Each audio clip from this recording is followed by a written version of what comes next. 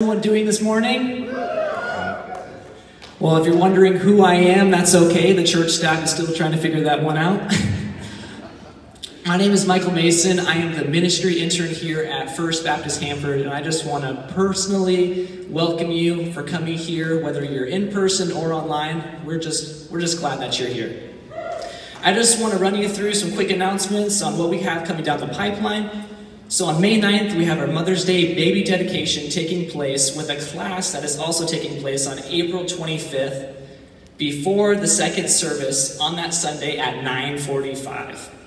You can sign up online on our events page and childcare will be provided for that class.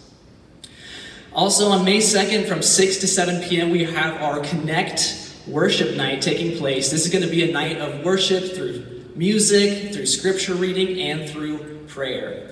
And this is a time that we can recognize that we oftentimes feel really distanced from one another, but we need to learn more about what it means to connect with God as well as connect with those around us. So I hope we can hope you guys can come out that night, 6 to 7 p.m. It's an open invitation for anyone who wants to come, and you can come anytime during 6 to 7 p.m. and leave as you like. Also, the last thing, we have giving boxes. So on your way out this morning, you can put tithe in there, and you can also send tithe online at fbhanford.org, as well as on the app. So as we come into this time of worship, my hope is that we can just continue to revere the Lord and honor Him. So let's bow our heads and pray. Heavenly Father, I just want to thank you just for this morning, God. A morning in which we can just posture our hearts to glorify you, God. Not only with what we are speaking, God, but what we are thinking. So, God, I just pray in this time that we can focus. We can focus our minds and our hearts on what you have to speak with us this morning.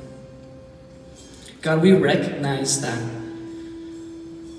we are so weak, but God, in our weakness, you are made strong.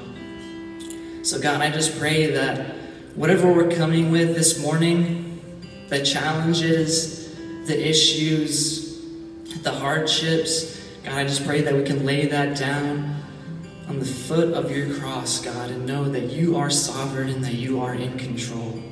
And God, that you sent your own Son to die in our place, God, and we have a hope that is within you. So God, as we as we come into this time of worship, as we listen to Pastor Peter's word, Father, we we just listen, we hear, and we know that you are Lord. So God, we thank you for who you are in our lives. We pray that we can just learn more about you in this time. I pray this in your son's name. Amen.